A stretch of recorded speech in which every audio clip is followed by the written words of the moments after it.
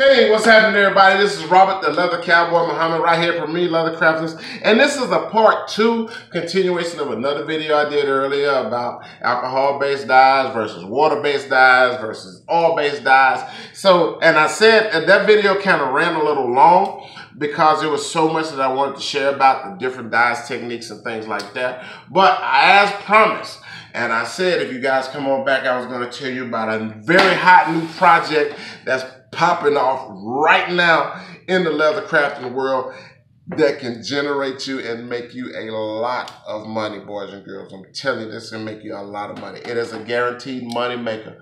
Uh, a few of you, if you're on my social media outlet pages, Facebook, IG, Twitter, Insta, uh, Instagram, and IG is the same thing. Uh, all of them, because I'm on all of them.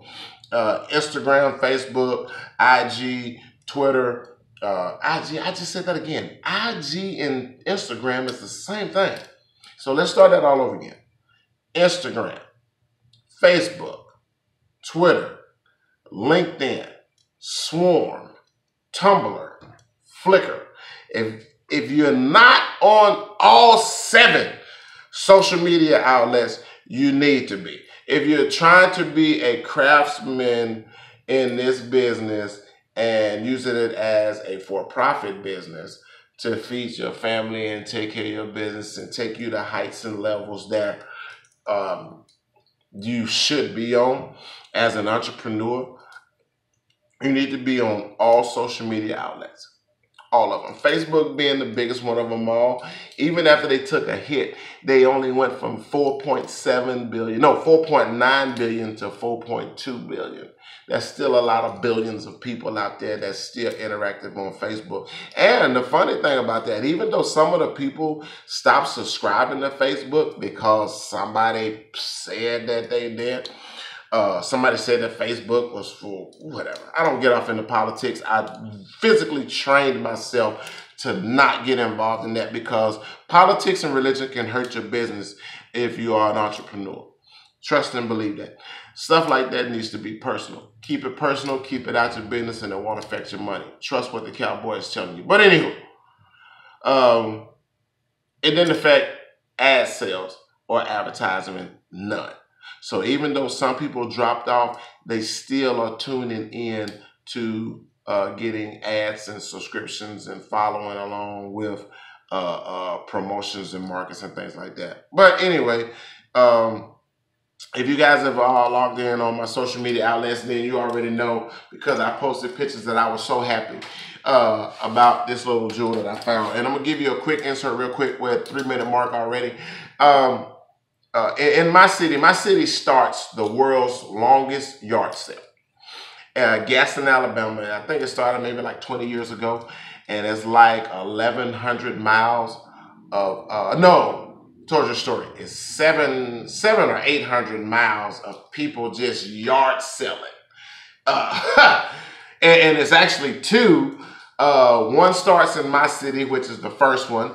Uh, it's the longest yard sale. And then there is another one that's right uh, the weekend before Mother's Day. And it's the second uh, longest yard sale that runs through my city, but it starts two cities down.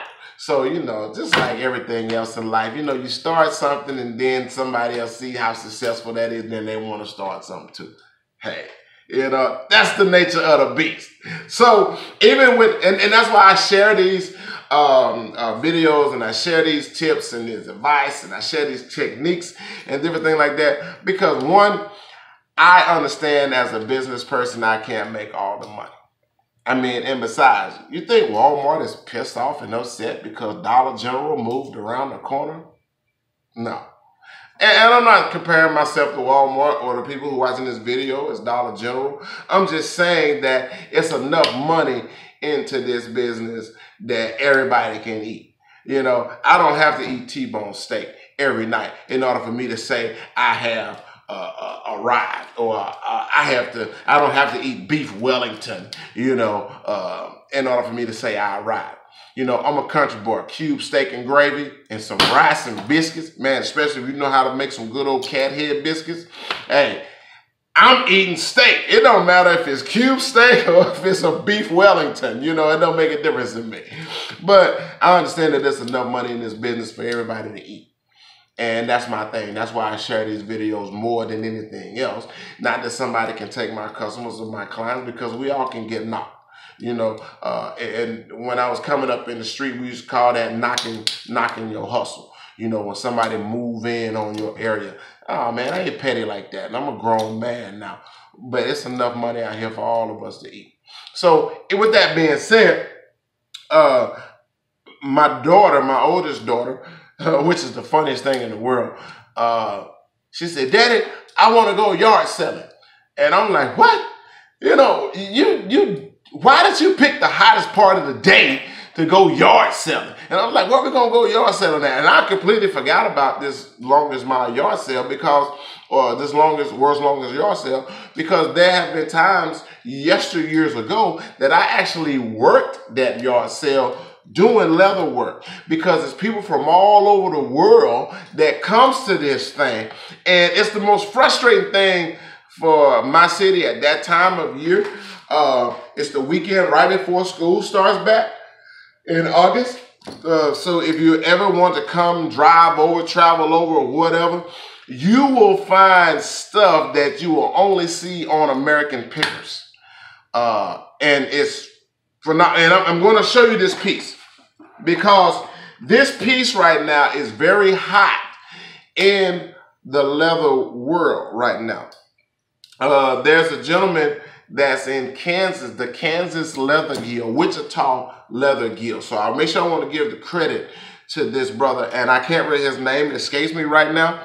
But he is giving a class in the Kansas area. So if you're around this Kansas area, or you can log on to the Wichita Leathers Guild on Facebook, and you can see the announcement of the post to where he's teaching a class on this hot new item right now in the leather world. And uh, he's teaching the techniques and things that he does because I'm telling you, family, this is so hot right now. It's a it's a good money maker if you got the time and uh, to sit down and do it. One piece can generate you a week's worth of salary, and depending on where you are, I don't know how much you make uh, on your job or retired or whatever, but I've seen this particular project go for $500 or better. Swear to God. Swear to God. It's so, it, it grabbed my attention so much on the money because I'm hungry like that. And, and, and I'm not to let no hustle get past me. You know, and in my mind, I feel if you want it in leather, I can do it anyway. That's how I built my business. So it doesn't matter what a customer comes to me and asks me if he wanted in leather, it, it can be made.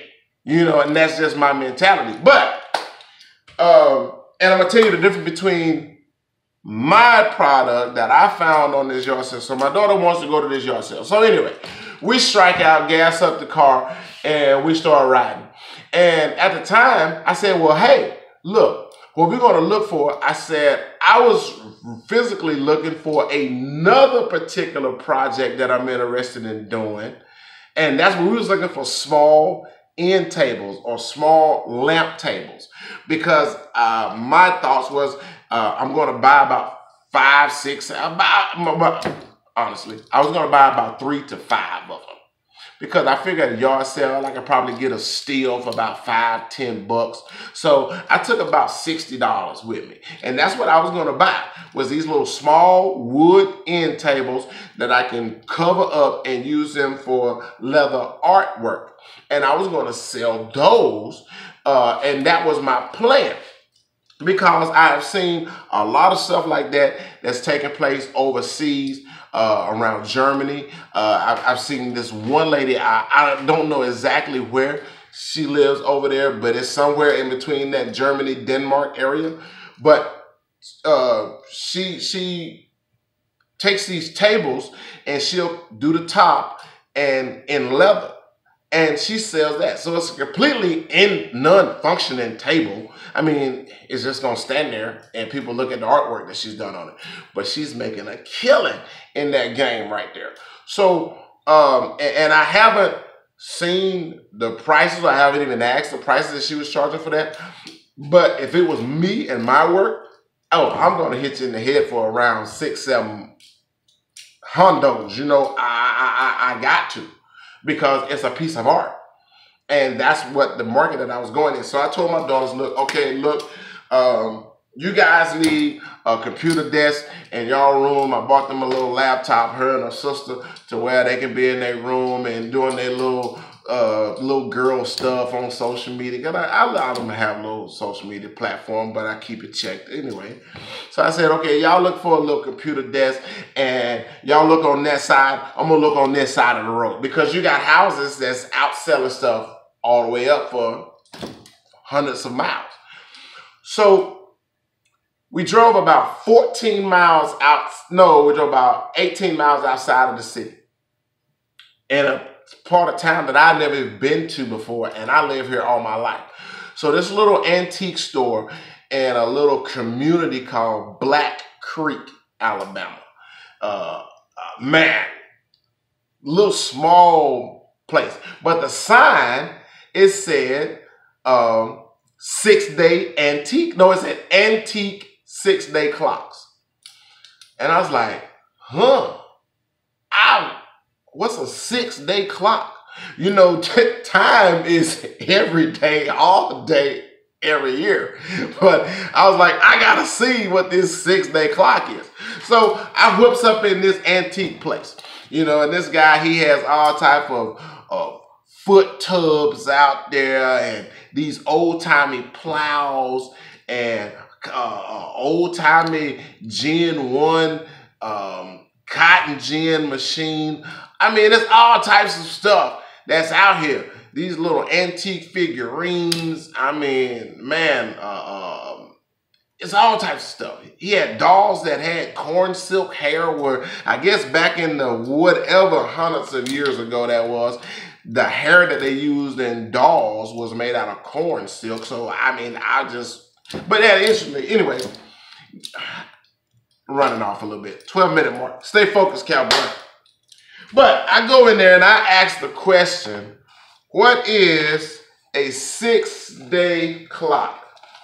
Now, I'm going to angle my camera down a little bit because I want you guys to see this.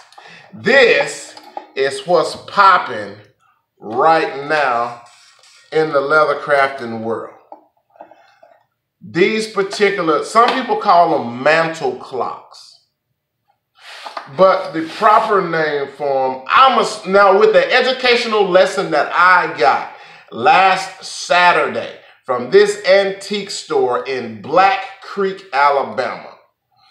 The, the lesson that, that I got from this was these were called six day clocks because back in the day, they only ran for six days when you uh, wound them up. And you have to wound these up, wind these up. And it comes with a little key, this particular key here. And you would open the clock and it has a little face thing, a little lip to where you can open these. Good God almighty. I don't want to tear it up because this clock was super expensive. Let me get to this thing. All right. So you have these six day clocks. So you'll open the face up and you'll stick this key in and you can only turn the key, whatever you did to the hour hand, you done to the minute hand as well. And so if you did a quarter turn here, you come over here and do a quarter turn over there. And you'll close the clock back. And it'll stay running for six days, six day clock. But, and then you can tell around the back. Now, back in those days, uh, clockmakers were pretty wealthy people, and you can see the the the antiqueness in this. And I haven't even cleaned this up yet. still got a little cobwebs in here. But this is the chimer here, and this is the little hammer. I don't know if you guys can hear that, but you push that. Well, as it there it goes, and it makes that little sound right there. Now, and this was is not the most expensive one. The ones that was a little bit more expensive than this had multiple chimers or multiple these little metal rods and the, the little hammer will hit each one and you'll get a different chime. Boom, boom, boom, boom, boom, or whatever. This one is just one chime. And it runs by the pendulum. This is little thing right here because it didn't have a second hand. Let me adjust that some more. This is called a pendulum. And that kept your seconds. And it just rocked back and forth once you wound it up. So, but anyway, got my valuable little lesson on a six day clock. But these are hot right now in the leather world. Now, a lot of them that you'll be seeing in these different leather guilds or leather shops or people who are giving these leather classes, I specifically look now for the the winding holes. And if they don't have the winding holes, those are newer, modern clocks, probably running by a battery. And uh, but it's not a six-day clock because they'll continue to run. So, and they're, they are a lot more cheaper. They just have that antique look. Cool, fine. Not a problem with that. No beef at all with that, period. But what I paid for this clock, what I paid for this clock, this is considered antique. So now, are there some people out there that would like to just purchase this clock on its own? Yes, there are. Uh, but I'm going to do to this six day clock because it has that key and people who collect clocks or, or know about clocks and things like this, they know what this particular clock is just by seeing the two winding holes. And when they see the key, it comes with its own particular key. But this particular antique store that had these, let me move my clock back up. This particular antique store that had these had a wall full of them. Yes, my new gold mine. And I like to give a shout out to my daughter because if it hadn't been for my oldest daughter saying, hey, daddy, I want to go yard selling, I wouldn't have never found this little jewel in that particular part of my city or my, well, it's inside the county limits. It's not inside the city limits. But I never would have found that place because I never would have went up that road that far out ever because I had no need to do it. But uh, these are now being wrapped and tooled in leather. Uh, you can look on Pinterest. You'll see how different people are taking this these particular clocks and they're wrapping them in leather and they're reselling them for great dollar amount returns. And they are very beautiful, very beautiful work. The one thing that I would say that uh, I'm going to do to this particular piece is because it is a true antique six day clock. Um, is I'm going to do the same thing. And I think that increases my value a little bit on that. So with that, let me get out of this because now let me get up into the purpose of this video. Anyway, shout out to Gene. Uh, Gene is one of the subscribers uh, onto the YouTube channel. And Gene had just messaged and said, and you guys can read that in the comment, uh, on the uh, herringbone pattern video. Uh, Gene just went out and bought this particular tool here, the X503. Beautiful tool. It does beautiful things. Uh, I call it a basket weaving stamp. I, I think it's in the line of basket weaving because the way that you utilize this tool, it does mimic a basket weave. Instead of it being the straight basket weave uh, as with the X534 as it being this it's still in the same family. It's just a different type of tool to give a different type of look. Now Gene if you're watching this video sir you did even though you did a great job if uh, I guess let me give you uh, a, a, a golden a golden nugget. Because the X503 has two younger brothers. I have the middle brother, and this is the X502. Now, anytime that you're buying uh, any of the X series tools, they, especially with Tandy, they generally have a small, smaller version or a larger version. Even with the camo tool, the camouflaging tools, you will see a, uh, yes, even with the camouflaging tool, and this is the D, oh God, y'all know I can't see without these, I'm getting too old. So this is the, the C453, and its smaller sibling is the C709. And that's the camouflaging tool, and they are two, the same tool, just a bigger and a smaller version of each other. Now, and the reason why I say that, even with the um, any of the X tools, uh, especially in the bas that basket weaving line for tools that are known to basket weave, buy all three versions or buy the bigger brother and the medium brother or by the medium brother and the smallest brother because you can utilize those two tools or all three tools together on a piece.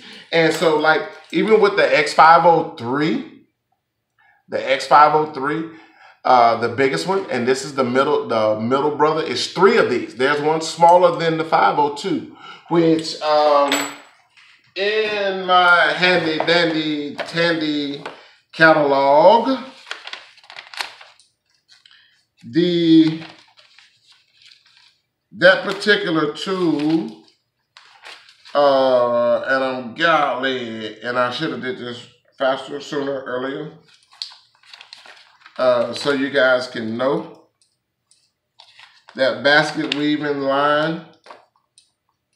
Okay, the um, there is a X 286 that is out there and has a little insignia, the infinity insignia in between it. Uh, but any of those X tools, uh, they have a bigger and a smaller version uh, to themselves. Even with your veiners, your veiners, your mule foot, you'll see those utilized in a lot of the Sheridan design. Uh, you'll see the mule foot uh, that's used in the scroll of your Sheridan design, and you'll see them getting smaller or you'll see them getting bigger because they invested and got all of the tools. There's a bigger version and a smaller version. Uh, your camouflaging tools are the same. Uh, everything except your geometric tools, your your backgrounding tools, they are a bigger and a smaller. It's, there's three tools for every version except that I know, except your geometric stamps and they all just have that one particular size. But that particular tool is a great tool to have uh, is to get all three or two. The two larger ones, the middle and the larger or the middle and the smaller. But you can utilize those two together and that will just expand or make your work that much more beautiful. So, Gene, this is for you, my friend. I'm going to give a quick uh, uh, tutorial on the X503 and I'm going to incorporate the X502 with that and just do a short piece to give you an idea uh, and just and Gene, I'm not saying, Gene, I'm not saying, Gene, I'm not saying that you couldn't have figured this out, but that inspired me to get back out and do more videos. So I took a quick break from uh, from doing the uh, the call hosters, the the, the for the for the hunting company uh, to do that video because I was excited. And I was excited, one, that you watched the videos, Gene. I was excited, two, that you went out to one of my favorite uh, leather stores and invested your money into your tools and bought that X503 and I was ex super excited that you decided to share that with the Leather Cowboy. And man, you just don't know, bro, that right here, that's a lot of love. I mean, and that's something that you didn't have to. And there's people out there that's buying tools all over the world and they don't share that with me. I mean, I don't know when they're buying tools and when they're not buying tools. But thank you, Gene. Thank you, thank you, thank you. And man, if there's anything that I can do uh, as far as give just sharing with you what I know, you got it, my friend. You got it. And you can hit me up on any social media outlet that you uh, want to, or you can hit me up right back here on the YouTube page. So let me slide over, grab a scrap piece of leather, get these lights adjusted, and we're going to get off into this X503 and the X502. So you guys hold on.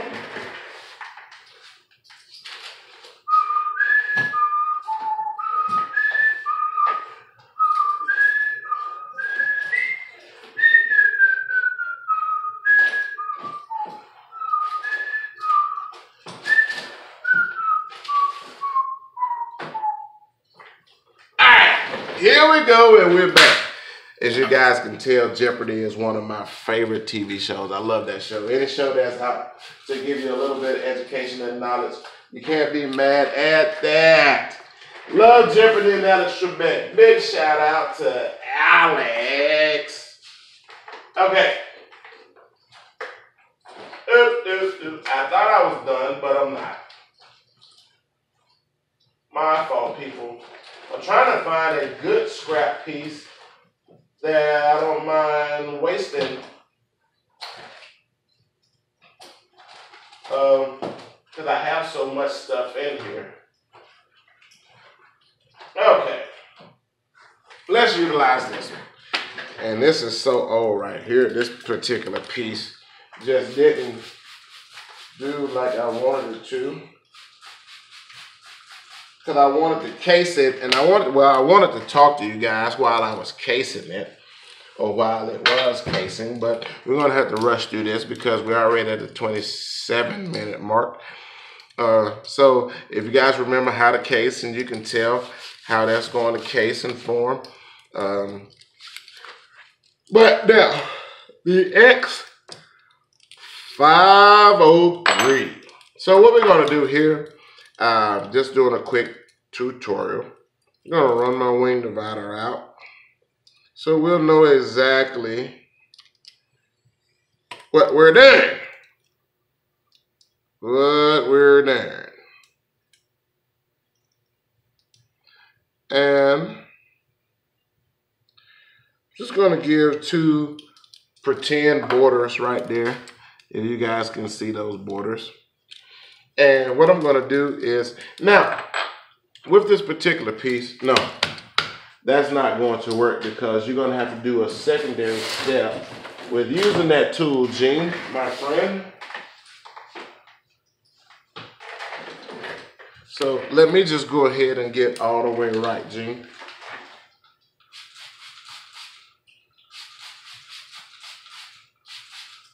So I'm to go ahead and get all the way right this is for my friend Gene. So Gene, what we're gonna do, uh, we're gonna do a border edge on this particular piece. So I'm taking my wing divider and just to give you an insight on how to utilize this or what I have used it for. So we're just gonna hypothetically say this is a belt. And I'm just going to put a good line on this. All right. Now, the thing with this particular tool here is just like a regular basket weave, you have to make sure that everything is going to line up. So, outside of my um, two border lines, I'm going to measure this, which is a full inch and a half. So I'm going to go 0.75 to get my center line. And then I'm going to take that and draw me I don't want to etch me a line, I just want to draw me a light line with my pencil. Down the middle. And this will be on any particular piece. So if you're working on a holster or whatever have you, you want to make sure that you do that. Let me get right over this with the light so you guys can see. and make sure that everything's gonna come out right. And I'm gonna start this off with my, now the way I use mine, Jen, you can use, or anyone who's watching this, you can even use the center of this part here, or you can use in between the two lines here, the indented part in between here.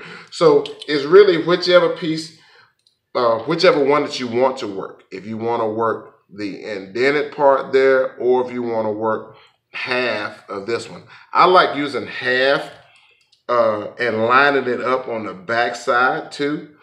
And now what I what what will work best for you, Gene? I don't know if you guys can see the back side of this, but I took a nail just a regular 16 penny, or you can use an 8 penny nail or whatever. You can probably even use a scratch awl. And I scratched me a mark at the indented part here, and I also scratched a mark on the other side. So when I use when I use this tool, Gene, um, I line up that scratch mark with my line, and then the back part with here, so I know that this particular part is straight. And then um, we commence to driving the line. Now, with this tool, you you want to walk it. And you can do, you want to make sure that your impressions are very deep and clean. And then you're just going to make that up with the next one. And you just keep walking that tool up.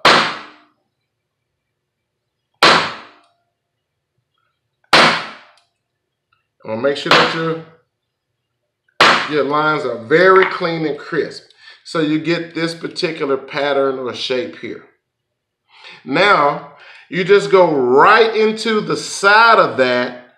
You just match up the tool with your impressions. And you just keep working that all the way around.